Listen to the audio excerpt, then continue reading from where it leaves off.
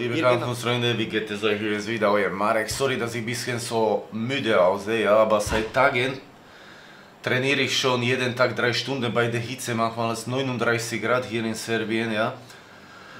Und ich habe jetzt einen Ringer hier, weil in letzter Zeit kommen immer mehr Kampfsportler aus zu mir.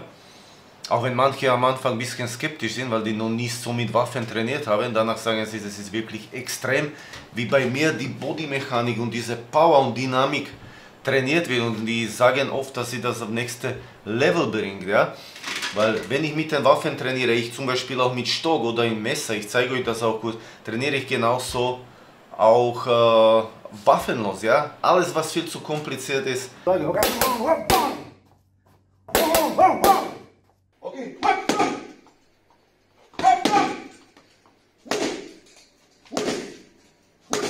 genau dasselbe. Waffenlos. Bom. Bom. Bom. Bom. Und hier bitte nicht so weit ausholen. Sobald du ausholst, ist der Gegner schon längst in dir drin. Ja? Bam.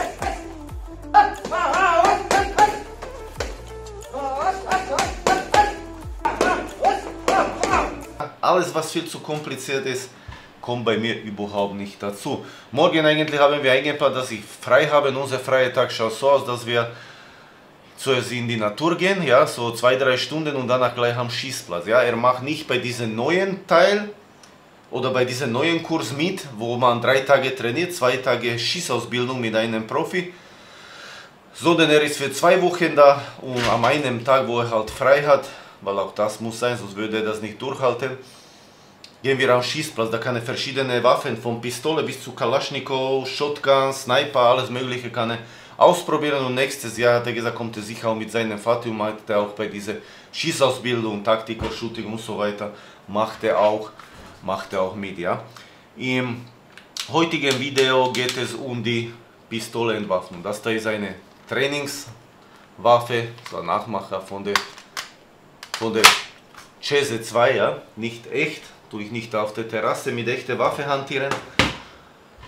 Und es geht um die Entwaffnungen. Ja? Er hat heute, heute haben wir erste Messertraining gehabt. Wir trainieren zuerst vier Tage mit dem Stock. Jede Technik, die ich mit Stock trainiere, machen wir gleich auch waffenlos, dass er besser checkt, was eigentlich dahinter ist, wie viel Power sich dahinter verbergt. Ja? Heute haben wir auch mit Messertraining und da hat er auch gesehen, dass die meisten Sachen nicht einfach funktionieren. Weil oft, wenn mir auch die Schüler hierher kommen, kommen wir mit irgendwelchen Techniken, was sie irgendwo gesehen haben oder in irgendeiner Schule oder bei Seminar oder wie auch immer. Und dann, wenn ich ihn attackiere und wenn ich zeige, wenn man bei einem Messerangriff zum Beispiel, wenn man zusticht und die konzentrieren sich nur auf diese Messerhand und vergessen diese linke Hand, was bei mir immer, egal ob mit Stock oder mit Messer trainierst, die linke Hand ist sehr, sehr wichtig. Das ist die, was pusht, die was steppt, die was zieht. Das ist sehr, sehr wichtig. Und dann, wenn man das beherrscht und man man aus diesem Traum aufwacht und sieht, aha, okay, dann der Angreifer sieht, steht sicher nicht da und wartet, bis du ihn entwaffnest, sonst hast du schon mehr Schläge in der Fresse, sorry für den Ausdruck, dann schaut das schon wieder ganz anders aus, vor allem wenn man richtigen Druck ausübt. Ja? Und dasselbe auch mit der Pistole, weil dieser Instruktor, der euch trainiert, ja, das ist mein bester Freund hier und ich trainiere auch mit ihm, ich trainiere auch mit anderen Soldaten auch, ja. Und dass solche Sachen und diese Entwaffnungen, die meisten würden nicht funktionieren bei einem vor allem, der sich auskennt. Ja? Selbstverständlich bei irgendeinem Vollpfosten kann es schon funktionieren, wenn sie in der Tankstelle über die Decke lehnt so gut, dass er nicht gerade umfällt, ja, dann kannst du vielleicht eventuell was machen. Aber in diesem Video zum Beispiel, was ich dir heute zeige, ist es schief gelaufen, ja. Und deshalb ist es wichtig, materielle Dinge, die kannst du verschmerzen, das kannst du dir neu kaufen. Dein Leben kannst du dir nicht neu kaufen. Egal, ob das Messer ist, egal, ob das die Pistole ist wenn er dich nicht sofort tötet oder töten will, ja, dann bitte gib ihm das alles, ja, und spiel nicht so einen Helden, weil dieser Held kann jetzt nur noch den Helden auf dem Friedhof spielen oder wahrscheinlich in der anderen Welt oder wie auch immer, ja. Wirklich, das ist Wahnsinn, weil man vergisst oft, so wie in diesem Video, dass der Zweite dazu kommen kann. Egal, ob draußen auf der Straße, auch wo keine Waffen dabei sind, da rede ich schon gar nicht, wenn Messer oder Pistolen dabei sind. Beide waren hier, die Angreifer, bewaffnet, ja.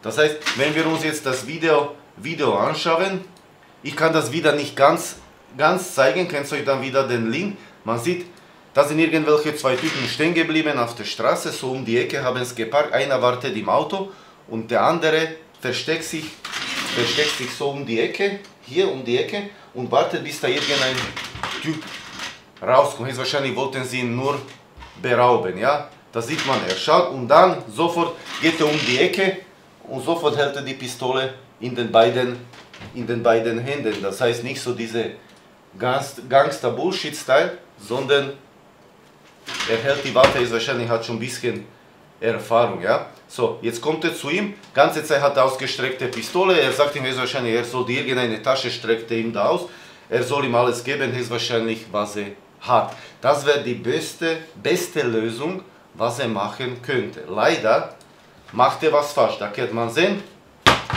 er hat die Tasche genommen, dann hält er die Pistole mit einer Hand, lässt er fallen und dann hat er aber wieder die Pistole in den beiden Händen. Und dann, dann kann man sehen, dass er ihm, ich glaube, hat wie Handy ausgeschaut, dass ihm Handy gibt. Er nimmt dann, hält die Pistole nur mit einer Hand, nimmt das Handy und er versucht, das Opfer versucht, auf die Pistole zu greifen. Ja?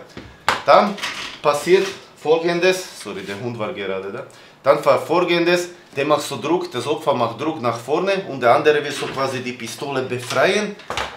Die kämpfen miteinander, machen so Druck nach vorne und dann passiert ein großer Fehler. Das Opfer stürzt. Der Angreifer, der Aggressor steht über ihn. Ja? Die versuchen irgendwie um die Waffe, Waffe zu ringen. Vielleicht würde da auch passieren, dass er ihn entwaffnet. Ja, bis das zweite bis der zweite Aggressor dazu kommt. Da kann man sehen, der, das Opfer ist ganze Zeit am Boden, der mit dem weißen T-Shirt oder weißen Pulli, der hat so quasi die Überhand, ja. Da sieht man, wie die kämpfen und dann von links kommt der andere Typ, der hat auch eine Waffe in der Hand, ja. Der schießt nicht, der schaut zuerst einmal, streckt er immer mal die Pistole, Pistole zum Kopf, ja. Und dann sieht man, er hat sich befreit, schießt einmal, dann nimmt er, es, nimmt er irgendwas, ich glaube Handy oder irgendwas, nimmt er ihn raus, dann schießt er zweimal, dann schaut er irgendwas in dem Handy, na, und dann schießt er noch einmal. In der Zwischenzeit läuft sein Volltrottelfreund weg, ja, und das Ganze wegen Handy, ja, nicht einmal wenn ich Million Dollar bei mir hätte, würde ich riskieren, weil dein Leben kannst du nicht neu kaufen. Das ist einfach vorbei. Das ist auch ist ein bisschen blöder äh, Vergleich. Aber auch wenn du dein ganzes Leben nur jammerst und andere schuldig machst für eigene Unfähigkeit, dass du im Leben nirgends schaffst, das was du gerne hättest und Leben lang arbeitest für jemanden, der dich jeden Tag nur sekiert, malträtiert und so, ist das auch dein dein Fehler? Ist das auch etwas, was du anders machen könntest? Ja, ich weiß, es ist ein bisschen ein blöder Vergleich, aber da auch. Du kannst das, da hast du, da hast du ein scheiß Handy, da hast du äh, Geldbörse, Schlüssel von Auto, alles. Ja, das kannst du ersetzen. Dein Leben kannst nicht ersetzen. Dieser zweite Vergleich, was ich gesagt habe, das meine ich, dass er irgendwann dein Leben vorbei ist und du hast nicht gelebt, dann merkst du vielleicht mit 60, 70, ach scheiße, ich habe gar nicht gelebt. Dann hast du auch kein zweites Leben, nochmal das Ganze durchzuleben und besser zu machen. Wenn du etwas besser machen willst, dann musst du es gleich machen. Oder in der nahen Zukunft und nicht irgendwann in äh, 30 Jahren warten, bis die Pension kommt. Ja? Und dieser Typ, ja, auch, das hätte alles nicht sein müssen. Und bitte auch ihr in der Schule, bei eurer Schule, bei euren, ähm, keine Ahnung, wo ihr trainiert, wo ihr unterrichtet wird, passt bitte darauf auf, wenn sich euer äh, Instruktor oder euer Lehrer die ganze Zeit konzentrieren auf irgendwelche super Entwaffnungen, ja, vor allem auch mit dem Messer, ja, weil mit der Waffe ist das noch in Deutschland nicht so häufig wie die Messerangriffe. Ja? In Amerika laufen alle mit den Waffen herum, den Schusswaffen. Aber Messer ist auch sehr, sehr, sehr gefährlich. Ja? Und auch irgendwie die Hemmung, Hemmung zuzustechen, finde ich mit Messer leichter wie die Pistole abzudrücken, ja. Und deshalb, Leute, auch wenn euch der Lehrer zeigt irgendwelche super Sachen, wie du entwaffnest und so, und da stehst du auch hier oder irgendwelche dumme Hebeln, wie eine 50-jährige Frau, 50 äh, Kilo schwere Frau einen 100 Kilo schweren Mann hebeln soll und so, das ist quasi die Verteidigung vor Vergewaltigung. Und dann die ganze Pistole, boom, boom, boom, boom, boom, und dann stehst du da und hast den super entwaffnet. Bei ihr, ich sage nicht, dass es nicht geht. Es gibt auch so ein paar Videos, wo man wirklich entwaffnen kann, ja. Aber das ist eher Seltenheit. Wenn dich jemand wirklich töten will, dann hält er dich auf die Distanz. Zweitens siehst du das selber. Vielleicht, wenn der zweite nicht dazu gekommen wäre, vielleicht, ja, wäre es anders ausgegangen. Aber du musst immer damit rechnen, auch auf die Straße musst du immer darauf achten, wer steht neben dir. Wenn du da einen Aggressor hast, einen daneben, dann konzentriere dich nicht nur auf den Aggressor da vorne, sondern boom, auch den daneben musst du abschalten, ausschalten und sogar schneller als den davor. Sonst kannst du schneller einen Schlag von der Seite kriegen, als dir lieb wäre. Ja? Deshalb passt ihr bitte Leute auf euch auf, lasst euch nicht für dumm verkaufen bei den ganzen Heroes, die da unterrichten mit Schusswaffen, ja, was heißt Schusswaffen, die unterrichten mit Gummiwaffen, ja, hatte noch nie eine richtige Waffe in der Hand gehalten, hat nie geschossen, nie während des Laufens Magazin gewechselt, bam, bam, und auf verschiedene Ziele geschossen und so weiter und so fort. Aber er dir zeigen, wie es geht, weil er ist der Superinstruktor, ja, und mit Messer Deto, ja. Bitte, pass auf euch auf, bleibt stark und ich freue mich auf alle, die jetzt zusehen und bei mir zum Training kommen. Ende August habt ihr noch ein paar Termine frei, aber jetzt sind drei dabei, die, wo, wo ich auf die Antwort warte. Das heißt, musste schnell sein und September und Oktober könnte man was noch reinschieben, wer noch dabei sein möchte heuer, okay? Ich wünsche euch alles Gute, ich muss mich ein bisschen ausruhen, weil morgen geht es wieder mit Training weiter. Ciao, Herr Marek.